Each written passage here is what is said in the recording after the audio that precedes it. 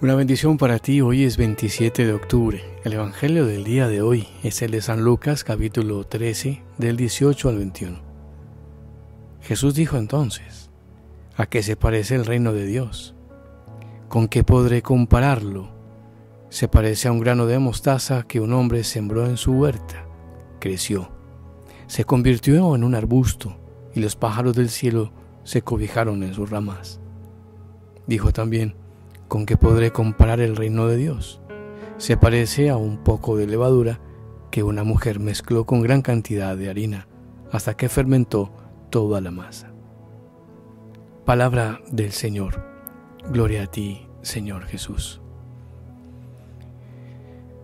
Bueno, pues hoy nos encontramos en torno a esta palabra del Señor y nos invita pues a descubrir claramente esta imagen que usa Jesús, esta comparación pues del reino de los cielos y pues con la pregunta con la que comienza Jesús, ¿a qué se parece el reino de los cielos? ¿A qué podré compararlo?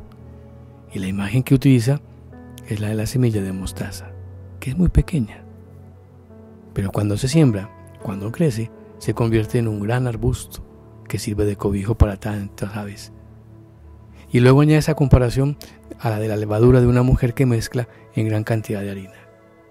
Parecería a cierta vista que el reino de Dios, pues, es insignificante, casi no se ve.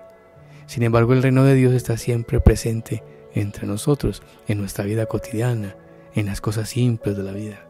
Uno se complica la vida, mucho, y pierde uno lo más importante que es la sencillez, la humildad, de ver el detalle, de ver las situaciones más hermosas. Y el Señor tiene el poder de mostrar cómo Él quiere sin embargo,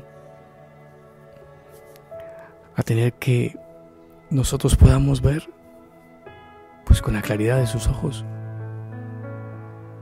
Sencillo,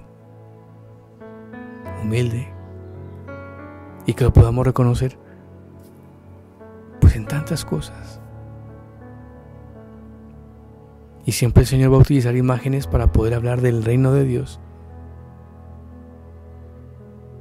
poder hablar de él, de su papá.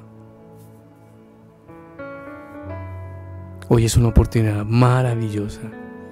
¿Qué es el reino? Es la presencia de Él entre nosotros. Son aquellos signos de que nos muestra que el Señor camina a nuestro lado, que es nuestro mejor amigo, que es nuestra mejor compañía, es el centro de nuestra vida en la historia y dependerá de ti y de mí en qué lugar lo ubicamos y qué espacio le vamos a ofrecer al Señor. Pues así que esta palabra sea un motivo de mucha esperanza para los momentos que vivimos, que son tan difíciles. Él está allí en lo más, en lo más sencillo, en lo más simple, en lo cotidiano, en el día a día. María Auxilio de los cristianos, ruega por nosotros.